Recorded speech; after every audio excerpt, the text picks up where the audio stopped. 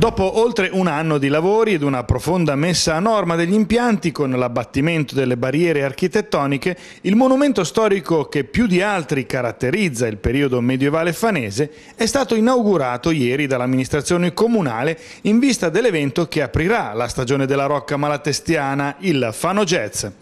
Questo è stato reso possibile grazie all'aumentata capienza della struttura passata da 99 posti a 800, spalancando così le porte ad una possibilità infinita di manifestazioni che si possono collocare in un contenitore come la Rocca, culturali, teatrali, musicali ed espositive, insomma un tesoro che per la città e per la programmazione turistica rappresenta un vero e proprio tesoro per la città e per la programmazione turistica. Un monumento di questo tipo che va vissuto se possibile tutto l'anno con tante più potenzialità e quindi l'uscita di sicurezza, la scala antincendio, l'ascensore che abbatte le barriere architettoniche,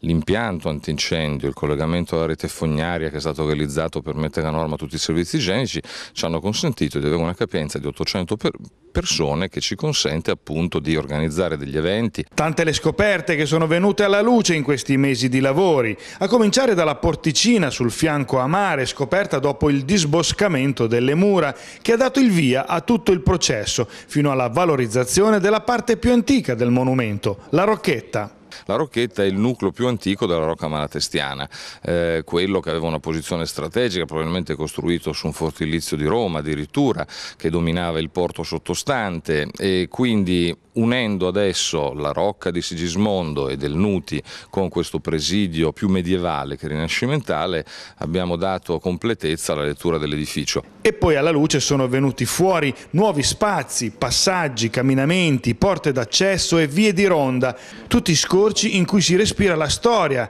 e l'epopea medievale fanese e sui quali il sistema museo potrà cucire percorsi guidati alla scoperta di un monumento che forse nemmeno i fanesi conoscono conoscono così approfonditamente e questa è sicuramente l'occasione giusta per appropriarsene.